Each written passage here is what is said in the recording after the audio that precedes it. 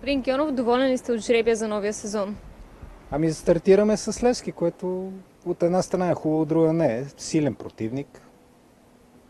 Да кажем, че бих предпочел с по-лек матч да започнем, но в крайна сметка така е отредено.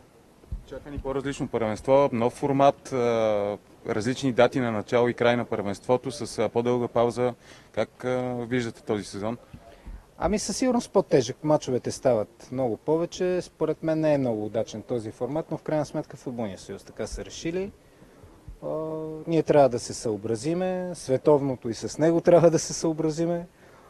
Щеше да бъде по-удачно с по-малко отбори, можехме по-късно да започнем, но така, така е отредено. Първият матч срещу Левски има ли яснота къде ще го играете? Предния път така имаше известно напрежение. Къде ще се играе матча заради големия интерес?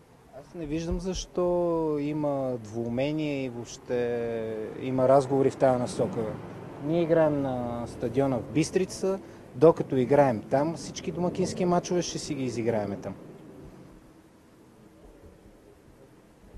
Имате нов треньор, така как играхте първа контрола, как виждате началото на подготовката, не общо казано?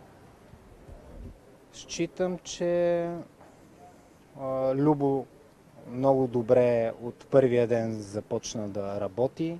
Вижда се в цялостното поведение на всички служители в клуба един професионализъм, с който той е известен. А, нормално той има доста изисквания и всички се напасваме все още с него, или по-точно персонала се напасва, той се, се напасва с нас. А, щастливи сме, че той е част от нашия отбор и му желая успех на него и на целия екип. Дълго време ли продължиха преговорите с него и всъщност успяхте ли лесно да го убедите? Мисля, че дълго време не бих казал, но, но пък ползотворни бяха преговорите.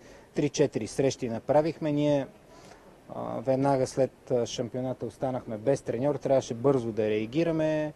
А, Любо не е нужно да говорим за неговата визитка, за неговия, неговото ампула и като играч, и като треньор. Мястото му е при нас.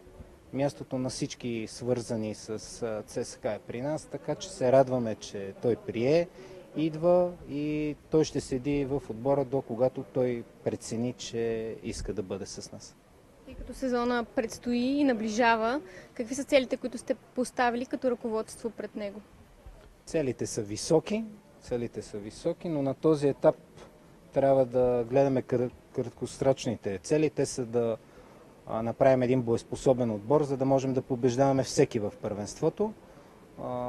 Вчера стартирахме, виждате групата е малка, очакваме нови попълнения, очакваме националите ни да се върнат. Няколко чуждестранни попълнения имахме, които буквално преди няколко дена дойдоха, но каквото е за нас, така и за другите отбори в интерес на истината. Така че това, което сега трябва да си поставим за цел е да направим един силен отбор, да направим още някой друг входящ трансфер, така че да имаме наистина един силен отбор, който да бъде равностоен на абсолютно всеки един отбор в първенството.